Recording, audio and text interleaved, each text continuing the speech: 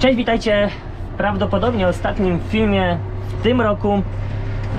E, Jak widzicie zacząłem trochę podrzucać obornik, bo ma przyjść jakaś odwilż po tych kilku dniach przymrozków, czy tam nawet mrozów. Ma przyjść odwilż, no i póki jeszcze jest ta ziemia zmarznięta, to chcę sobie obornik trochę spryzmować, bardziej po, po układać go. E, Bardzo fajny materiał na ten temat nagrał Przemek Zelma. Zapraszam na jego kanał. Tutaj, więc jakby ja już nie będę tego tematu poruszał, e, ale przede wszystkim no, pryzmuje się po to, żeby, żeby zaoszczędzić kasę. No. Każdy na pewno ma świadomość tego, że źle składowany obornik e, to są tak naprawdę straty składników, które w nim są. E, Więc to jest po prostu z ekonomicznego punktu widzenia dobry, dobry ruch, żeby gdzieś troszeczkę, że tak powiem, zadbać o to, żeby ten obornik był składowany jak najlepiej, żeby tych strat było jak najmniej. I gdy już zacząłem temat trochę takiej ekonomii, to też odniosę się do swoich wpisów, które mogliście przeczytać, które wywołały niemałą dyskusję i tutaj zgadzam się absolutnie z tym, że ten mój pierwszy wpis był niedokładny. Co prawda on był tylko taki podglądowy, no ale mimo wszystko mogłem od razu wrzucić jakby pełną kalkulację dla produkcji pszenicy w moim gospodarstwie i gdzieś ona, powiedzmy ta kalkulacja była odniesiona do aktualnych cen nawozów. Oczywiście dla każdego gospodarstwa ta kalkulacja będzie inna albo może być inna. Ja tutaj absolutnie nie poruszam e, tematu e, ceny, za które sprzedamy płody, nie poruszam tematu plonów, które jesteśmy w stanie osiągnąć bądź nie przy takich czy innych kosztach. Po prostu mm, pokazuję pokazałem jakie są, jakie były koszty, bo to była kalkulacja z 2000, sezonu 2020-2021. E, Tak naprawdę co roku, myślę, że kto mnie śledzi uważnie, to wie, że ja co roku takie kalkulacje robię i wrzucam i tak naprawdę w moim przypadku, no nie licząc mm, tego nadchodzącego sezonu, czy też trwającego już w sumie, e, te, te jakby kalkulacje pokazują, że rok rocznie koszta uprawy są bardzo zbliżone do siebie, tak? Czyli jak powiedzmy gdzieś tam robiłem to w granicach kiedyś tam 2000 z kawałkiem, no to niezależnie od tego jaki to był rok, to mniej więcej te koszta co roku były takie same. E, Dlaczego, dlaczego to robię, dlaczego o tym mówię? Raz, żeby pokazać e, jak wpłynęły ceny mm, na nasze koszty, na nasze wydatki na prowadzenie uprawy pszenicy, a po drugie uważam, że każdy w swoim gospodarstwie powinien takie kalkulacje robić mm, raz po to, żeby wiedzieć ile tak naprawdę kosztuje go dana uprawa, dwa właśnie po to, żeby dzięki takim kosztom można było zobaczyć w którym miejscu, gdzie być może da się zrobić jakieś oszczędności, a przede wszystkim chodzi o to, żeby zobaczyć która uprawa daje największy dochód. I to też warto robić, znaczy przede wszystkim to trzeba robić e, tak naprawdę bardzo sumiennie, no najlepiej corocznie, prawda? Wtedy wiemy na podstawie tego, że tak powiem wielolecia, wiemy w którą stronę możemy iść, w którą uprawę warto inwestować. Oczywiście zdarzają się lata takie, że e, że, nie, że będzie to nie wypał i, i tak możemy nic nie, nic nie zarobić, nic nie zyskać.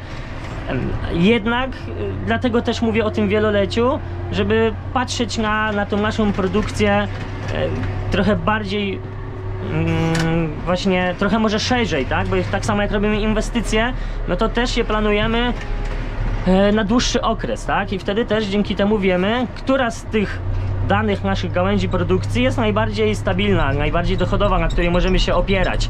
E, Dalej, e, ja tutaj absolutnie zgadzam się z Kubą e, Buchajczykiem, z którym też prowadziłem dyskusję w komentarzach. Ja się tu absolutnie zgadzam z Kubą, że żeby pokazać jakby całkowitą, nie wiem, dochodowość czy rentowność gospodarstwa, to powinniśmy pokazać koszta, no jakby całkowity bilans, tak? Całkowity rachunek zysków i strat, a nie jakby pokazując tylko przez pryzmat danej uprawy. I ja się z tym absolutnie zgadzam. Z tym, że y, to też Kubie napisałem, y, to ma sens tylko, tylko i wyłącznie wtedy, gdy wiemy, ile dana produkcja mm, nas kosztuje. Kurde, nie zaszaleję dzisiaj, jest za bardzo ta ziemia zmrożona i nie ma przyczepności. Mogłem sobie przeciwwagę założyć jeszcze, o, to by było lepiej. E, Chodzi o to, że słuchajcie, jak krowie na rowie powiem. Macie zysku, powiedzmy, z gospodarstwa 100 koła. Na czysto, dla nas, do przepieprzenia, nie wiem, na inwestycje, na co tam sobie chcecie. Mamy, prowadzimy produkcję roślinną i zwierzęcą. Mamy i pszenicę, i rzepaki, buraki, i kukurydzę. E, miszmasz. Miszmasz w gospodarstwie plus produkcja zwierzęca. Jeżeli liczymy bilans gospodarstwa całościowy, bez policzenia bez policzenia y, kosztów i zysków z poszczególnych gałęzi, z poszczególnych upraw, z poszczególnej hodowli, to powiedzcie skąd wiecie, czy dana uprawa, dana hodowla jest w ogóle opłacalna. To tak jak ja, dzisiaj liczę sobie produkcję dla e, zysk z naszego gospodarstwa. E, no powiedzmy zysk jest ok, tak, nie wiem, zostaje ta przysłowiowa stuwa, o której powiedziałem na plus. No więc gitara jest ok, ale aha, no, jest gitara, jest ok. Ale biorąc pod uwagę wyliczenia z produkcji zwierzęcej, okazuje się, że trzoda to jest dramat po prostu, prawda? I żeby tak naprawdę nie trzoda, to ten zysk z gospodarstwa byłby większy, bo dzisiaj ja do trzody dokładam. Ale skąd ja mam to wiedzieć, skoro ja tego nie liczę? Dlatego, żeby ogólny bilans gospodarstwa miał jakikolwiek sens, muszę iść poprawić. Te mocowania nam się popsuły w łyżce i mamy taki patent. Więc momencik. Tak jak mówię, żeby te, e, ten nasz bilans gospodarstwa miał jakikolwiek sens, to musi on być porównany do mm, kosztorysu prowadzenia danej produkcji. Bo dzisiaj ja wiem, dzięki temu, że liczę, wiem, że trzoda jest na minus i, i tak jak wspomniałem, żebym ja tej trzody nie miał, to tak naprawdę zarobek miałbym większy, kurde, niż w chwili obecnej, gdy tą trzodę mam. E, Dlatego ja tu absolutnie oczywiście, tak jak wspomniałem, zgadzam się z Kubą.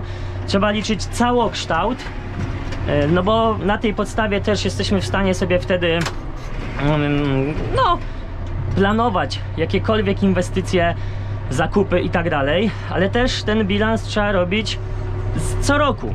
Mm, No bo na, na podstawie jednego roku wiecie jak może być. Może być rok rekordowy, a może być rok bardzo słaby. E, dlatego też te bilanse wszystkie trzeba sobie robić dużo. Dlatego też ja tak naprawdę dużo o tym mówię. E, dlatego ja to pokazuję.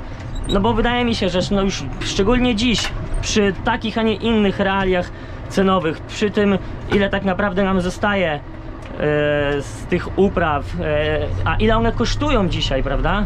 No nie, no tak to nie pojadę.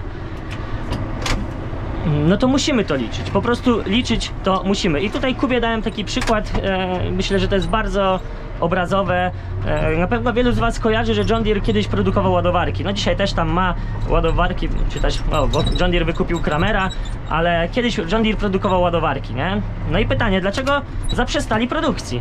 No też jest to bardzo proste. E, tak przynajmniej kiedyś mi opowiadał znajomy, który był e, przedstawicielem handlowym John Deere'a. Po prostu te ładowarki im nie schodziły.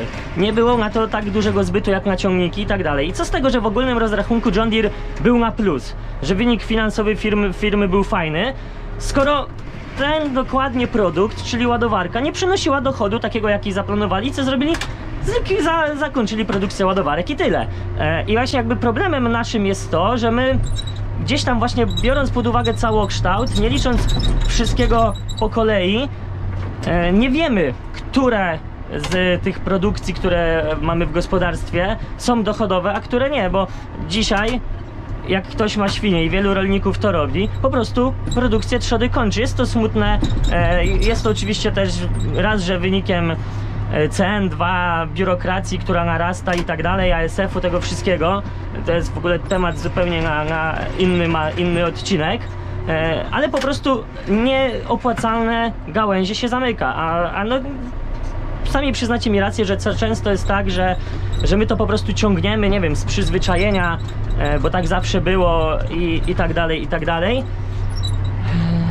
A być może się okazuje, że ten nakład pracy, który my wkładamy, czy to przy zwierzętach, e, czy może w jakichś innych, bardziej pracochłonnych uprawach, e, jest tak duży, że zysk, który my z tego mamy, jest po prostu tak nieopłacalny, że to się w głowie nie mieści, że może, może byśmy zarobili lepsze pieniądze idąc na przysłowiowy etat e, na 8 godzin niż rypiąc kilkanaście godzin dziennie.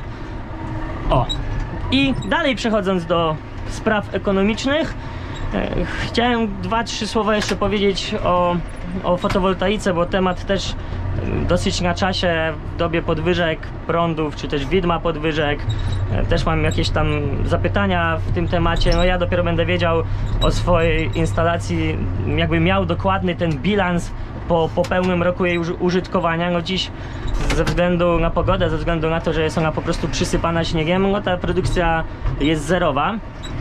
I dwa, trzy słowa o tym, o porównaniu takim instalacji na dachu e, względem instalacji, o deszcz zaczyna padać, na szybie jest ten, a względem instalacji, która była na, miałaby być na gruncie i tutaj też konsultowałem się z fachowcami z firmy, która mi montowała, czyli z podwójnej energii, e, bo był pomysł, żeby w ogóle instalacja była tutaj na tym dachu. To był jeden z pomysłów. E, Na stodole, albo tutaj właśnie tak jak idzie ten płot, to żeby tutaj ją wkomponować. E, I e, tak sobie siedzieliśmy, myśleliśmy. Teraz porównując jakby plusy i minusy sposobów właśnie montażu, sposobu ustawienia instalacji, czyli grunt kontra dach. Na pewno instalacja na gruncie jest o tyle fajniejsza, że możemy ją w bardzo łatwy sposób, jeżeli mamy oczywiście tyle miejsca, e, ustawić idealnie do e, jak najlepszej wystawy, żeby, żeby ta instalacja miała jak największą wydajność, prawda? Jest to bez wątpienia taki jeden, jeden z większych plusów. Aj, te kolejne. To jest bez wątpienia jeden, jeden z większych plusów. Po drugie, e, dla wielu bardzo dużym plusem jest też to, że e, gdy instalacja jest. No nie, nie pchnę tego za mocno. Gdy instalacja jest na gruncie, no to odchodzi nam ryzyko, całkowite ryzyko jakiegoś ewentualnego pożaru. Chociaż e, na pewno wielu z Was, jeżeli gdzieś tam zagłębiało się w temacie, to wie też to, że e, te pożary występują na szczęście, dzięki Bogu, stosunkowo rzadko, albo nawet bardzo rzadko. E, I najczęściej są wynikiem e, niepoprawnego montażu, nie wiem, użycia słabszych elementów, kabli i tak dalej, więc, ale oczywiście takie ryzyko istnieje, no, gdy mamy instalację na gruncie, oj, gdy mamy instalację na gruncie, no to to ryzyko nam odpada. Dodatkowo, e, no możemy łatwiej czyścić, konserwować taką instalację, jeżeli ona jest na gruncie. Wszystkie te mm, potrzebne podzespoły, czy tam falownik e, inne rzeczy e, można sobie gdzieś tam łatwo schować e, pod konstrukcję. Jest to takie powiedzmy wszystko w jednym miejscu. Mm, Więc jakby wydaje mi się, że to są takie największe plusy. No ma to taka konstrukcja też swoje minusy. Po pierwsze, będzie droższa. No dzisiaj Dzisiaj może już ta stal troszeczkę zrobiła się tańsza, ale jeszcze jakiś czas temu no, nie mam, nie mam przeciwwagi i nie chcę mi wjechać skubaniec. Ale jakiś czas temu, no niestety różnica w cenie była myślę, że znaczna. E, więc jak, e, no zawsze to są dodatkowe pieniądze, które musimy wydać, prawda? E, To po pierwsze. Po drugie, no mamy gdzieś tam kable e, i inne takie elementy elektryczne, że tak powiem, dość e, blisko na wyciągnięcie ręki, no, czyli istnieje jakieś tam ryzyko, e, no mm, nie wiem, no nie powiem, że utraty życia, bo to już jest hardkorowe, że tak powiem, ale no jakieś tam niebezpieczeństwo zawsze istnieje. Dodatkowo musimy dodat... e, mamy podatek, bo to już wtedy podchodzi nie wiem, pod budowlę czy, czy, czy coś takiego. No i musimy niestety dodatkowy podatek za to zapłacić. E, Jeżeli mamy sporo gruntu, no to spoko, to nie ma problemu, ale jeżeli ktoś ma, nie wiem, działkę mniejszą, czy e, no nie do końca e, na tym podwórku, czy gdzieś tam przy tym podwórku mu pasuje, no to też jednak bądź co bądź na te kilkanaście czy też kilkadziesiąt lat taka e, instalacja no, zajmuje nam miejsce i e, no już w tym miejscu nic, nic tak naprawdę więcej nie zrobimy, prawda? Więc to też jest dosyć istotne i, i trzeba o tym pamiętać. E, Jeżeli chodzi o dach, no to największą taką powiedzmy wadą e, jest to, że no, istnieje właśnie ryzyko tego, tego pożaru ewentualnego, dlatego też e, musimy zamontować jakąś, jakieś e, instrumenty przeciwpożarowe, gdzie właśnie przy instalacji na gruncie tego nie mamy. A tutaj no, na dachu, gdy już robimy na dachu, muszą być e, dodatkowe urządzenia właśnie przeciwpożarowe. Dodat na dachu kolejnym takim minusem jest to, że a, za chwilę sobie odzwonię. Dodatkowym minusem jest to, że